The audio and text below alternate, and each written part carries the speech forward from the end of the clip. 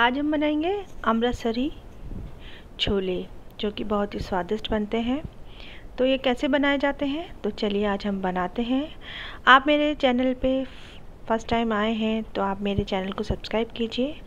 तो चलिए बनाते हैं। तो ये मैंने 250 ग्राम छोले लिए हैं, जो रात को मैंने भिगो दिए थे। देखिए कैसे अच्छे फूल गए हैं। और अब हम इसको एक कुकर में डालेंगे। अब हम इसमें पानी डालेंगे। पानी हम इतना डालेंगे कि ये डूब के और थोड़ा ज़्यादा और डले ताकि, क्योंकि हम और पानी यूज़ में नहीं लेंगे, इसी पानी को हम बाद में, यदि कम पड़ता है तो हम इसको ही यूज़ में लेंगे। तो हम थोड़ा सा पानी ज़्यादा ही लेंगे। तो ये पानी हमने डाल दिया है। इसके बाद हम लेंगे एक कपड़ा, साफ़ सुथरा सा। उसमें मैंने लिया है एक तेज पत्ता। और ये दो इलायची, छोटी इलायची और चार पाँच शेक लौंग ले रही हूँ मैं ये। और मैं लूँगी सात आठ काली मिर्च। ये काली मिर्च ले ली है मैंने। अब इसके बाद मैं डालूँगी चाय की पत्ती। तो ये एक चम्मच चाय की पत्ती और आधी और तो ये डेढ़ चम्मच हमने चाय की पत्ती डाल दी है। ये चूँकि बड़ी थी थोड़ी, इसलिए नहीं तो दो चम्मच तो होनी चाहिए। चाय की पत्ती से छोले का कलर बहुत अच्छा आता है। इसको, अब पोटली को हम बहुत अच्छे से बांधेंगे, ये खुलनी नहीं चाहिए। और इन मसालों का फ्लेवर बहुत ही अच्छा आता है। इसको बहुत टाइटली बांधना पड़ता है। तो इसको हमने बाँध दिया, इसको हम डाल दिया इसके अंदर। इसके बाद हम डालेंगे इसमें एक छोटा कटा प्याज, इसमें मिक्स कर देंगे। एक छोटी हरी मिर्च छोटी छोटी कटी हुई, इसको हम डाल देंगे। इसके बाद हम डालेंगे इसके अंदर आधा छोटी चम्मच नमक। क्योंकि नमक हम अभी कम डालेंगे, क्योंकि हम बाद में भी डालना होता है, इसलिए अभी हम इतने डालेंगे। अब हम इस कुकर को बंद कर देंगे और इसमें हम सीटी लगाएँगे। तो इसकी हम करीबन सात से आठ सीटी लगाएँगे। तो ये सीटी लगा लेते हैं हम। ये सीटी लग के ठंडा भी हो चुका है। अब इसको खोल लेते हैं कि हमारे छोले हुए कि नहीं हुए। तो इनको हम दबा के देखते हैं तो हमारे छोले हो चुके हैं। अब ये जो पोटली है, इसको हम निकाल देंगे। इसको हम हटा देंगे इसमें से। अब हम इसका मसाला तैयार करेंगे। इसमें हमने दो छोटे प्याज काटे छोटा छोटा कट किया है। 25 ग्राम करीबन हमने ये मक्खन लिया है। आधा इंच छोटा कटा जुलियन कट अदरक लिया है।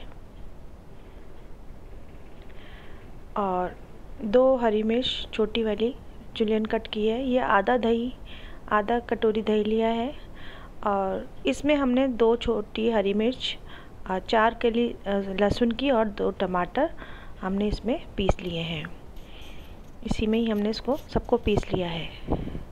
छोट, अब हम ये मसाला लेंगे। इसमें ये धनिया पाउडर दो चम्मच, एक छोटी चम्मच मिर्ची, आधी छोटी चम्मच हल्दी और ये भुना जीरा पिसावा एक छोटा चम्मच। आधा छोटा चम्मच हमने ये गरम मसाला और एक छोटा चम्मच हमने ये अनारदाना लिया। यदि आपके पास अनारदाना नहीं हो तो आप अमचूर ले सकते हैं। तो अब हम इन सारे मसालों को इस दही में मिक्स कर देंगे।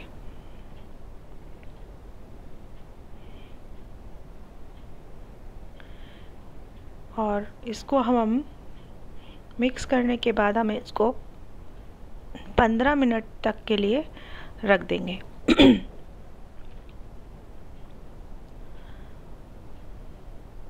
ये मिक्स कर दिया हमने। अब इसको हम रख देते हैं। अब हम मसाला बना लेते हैं। तो इसमें हमने तेल डाल लिया है। दो बड़े चम्मच तेल डाल लिया हमने इसके अंदर।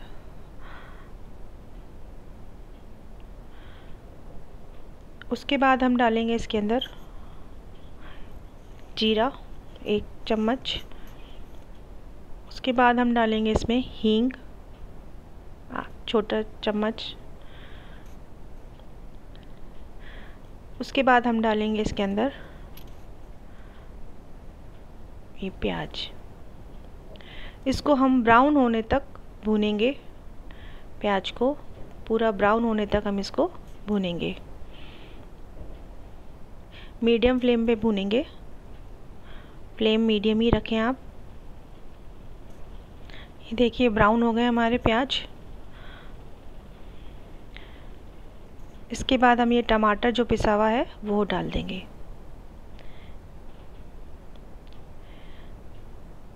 इसको हम बहुत अच्छे से, जब तक इसका ऑयल अलग नहीं हो जाता है, तब तक हम इसको भूनेंगे। ये देखिए, इसका ऑयल अलग हो चुका है। ये पूरा भुन चुका है। अब इसके अंदर हम जो दही में मिक्स किया हुआ मसाला था, वो हम इसमें डाल देंगे। ये हमने इसके अंदर मसाला डाल दिया। इसको भी हम भूनेंगे, जब तक कि ऑयल सेपरेट नहीं हो जाता है, तब तक हम इसको भूनेंगे। तो देखिए, इसको भी, इसका भी जब कहते हैं कि जाली पड़ जाए, जब तक मसाले को भूनना चाहिए तो ये मसाले में जाली पड़ चुकी है और ये हमारा भुन चुका है। अब हम इसके अंदर छोले डालेंगे।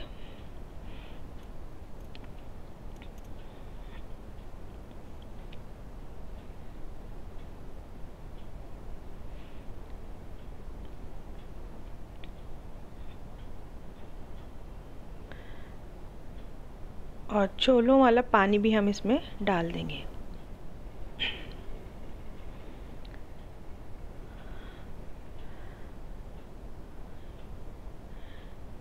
इसको अच्छे से हिला लेते हैं।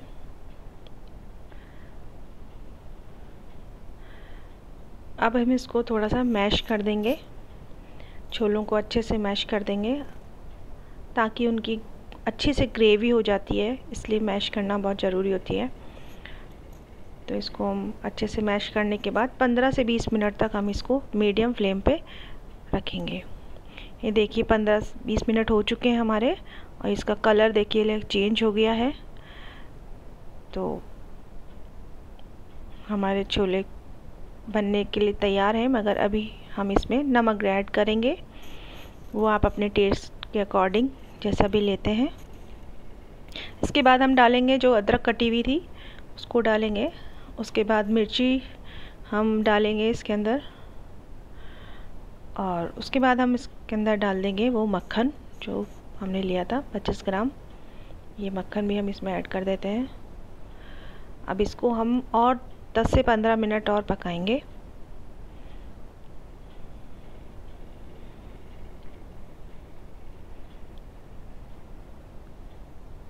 इसमें हम कसूरी मेथी और डाल देते हैं। उसके बाद हम इसको 15 मिनट और मीडियम फ्लेम पे रखेंगे।